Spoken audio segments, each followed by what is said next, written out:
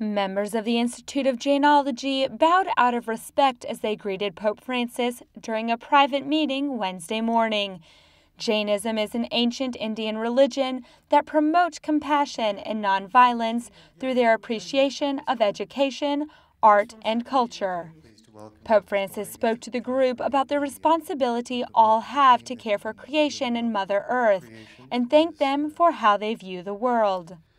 A noi, a tutti, piace dire la madre terra, perché è quella che ci ha dato la vita e, e ci custodisce.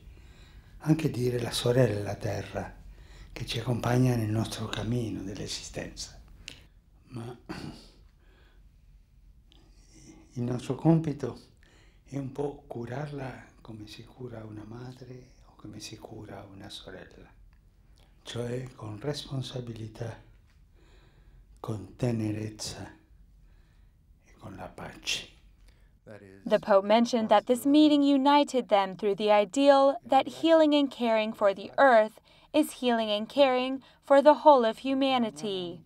The Institute of Jainology presented Pope Francis with a Tirthankara from their spiritual practice, which he graciously accepted. Look how many greeted the Pope.